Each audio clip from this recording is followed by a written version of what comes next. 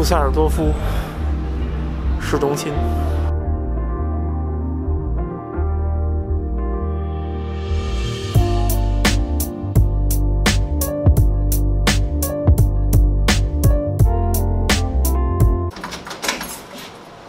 快走，快走，快走，快走，来不及了。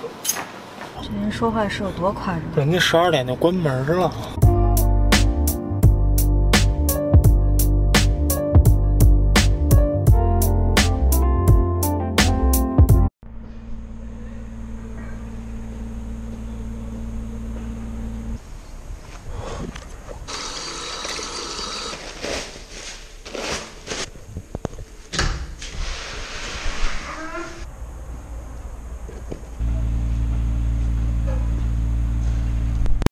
终于把护照换完了，这是全新的护照。不是老有人怀疑我是不是中国人吗？我是中国人。为了证明我没有拿着你的护照，两本儿。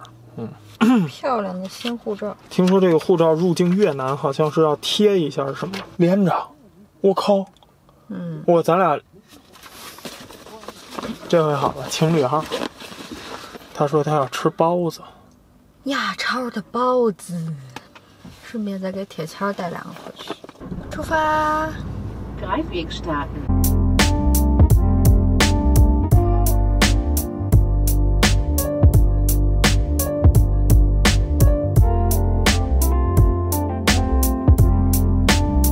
我们都已经从停车场出来了，这个人没戴墨镜，叫他平时老哔哔哔哔哔哔哔哔的。那边在拆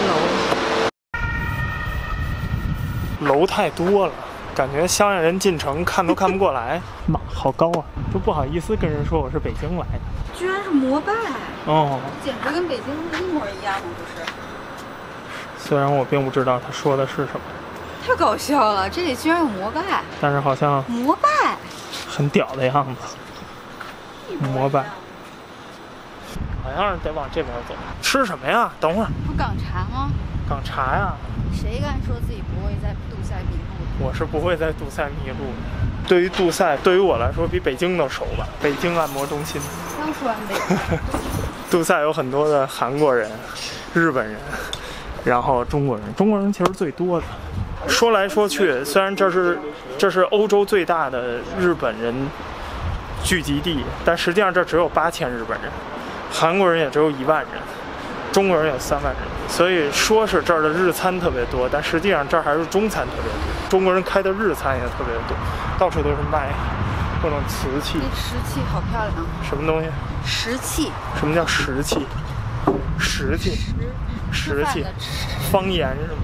日本用石器。过马路，这条路是日本街伊曼曼施塔塞，这地儿全是亚超、韩超、日超。尼可 hotel 就是永远不能在一个块儿，有我没他，有他没我。像走在日本的街头，奶茶、书店。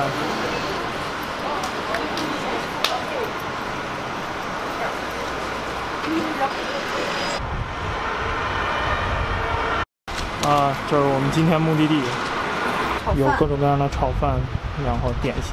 这店是香港人开的，老字号。你在干嘛？刚摘帽子，弄掉了头。豆浆和可乐。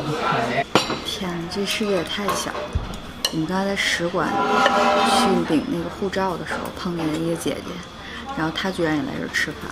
杜塞这么大，这么多馆子，天天都来这里，而且我们几乎是同时间到达。我点了牛肉茄子煲配米饭，呜、尝尝这个萝卜糕。嗯，青州米粉，茄子牛腩。这萝卜糕特别清爽，果然是很久没吃了。非常赞，咖喱味儿特别足。太好吃了！我觉得我又要爆炸了。哦，吃光光。我豆浆还没喝完，太甜了豆浆。啊，吃完了。怎么样这一顿？哦，我觉得我肚子瞬间就长大了一半儿，真的。然后价钱也，也不贵，嗯，跟在香港吃一顿差不多。差不多吧。其实可能跟在北京的港茶吃一顿也差不太多。同性恋酒吧，这个人吃了一个肚歪，然后还要我说开车过去。他说要走过去，一点儿也不像那狗，瘸了吧那狗？太逗了。超级玛丽吗？救护车啊！这为什么？有，那么多辆救护车过去，这狗狗怎么了？可能今天是太热，中暑了。这个看着不错啊，这个我是知道的，贵妃按摩院那个万里香。我们平时来都是周日，很少很少平时来，平时要上班儿。那边又是日本店，哇，日本店真的好多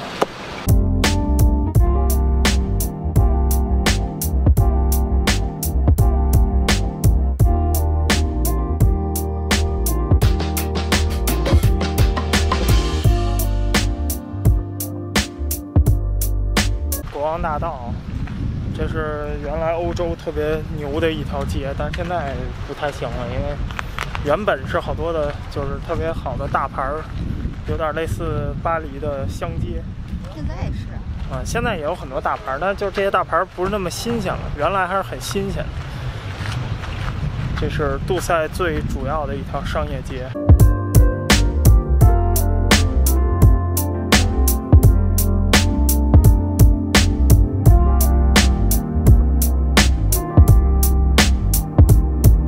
是杜塞尔多夫的市政府广场，每一年的狂欢节的游行车要从这儿过去。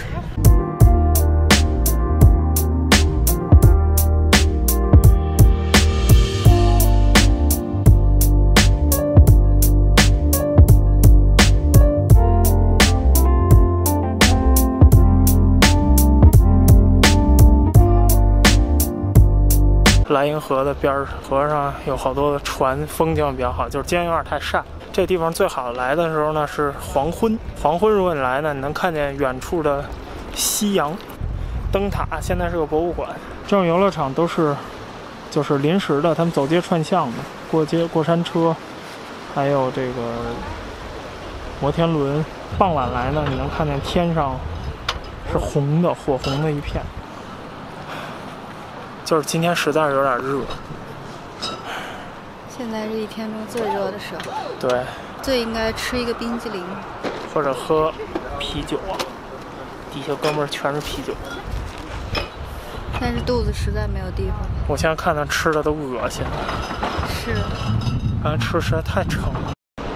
这个码头是平时的游船，然后因为莱茵河是连通了好多大的城市，你可以一直坐这个船往下游走，呃，往上游走。啊，这边是下游，去荷兰，就是流入海口。这边是科隆方向。这个船呢，平时船票大概十二到十五块钱一张，这是售票亭。然后有的船上带晚饭是二十五，大概四十分钟左右就到了科隆。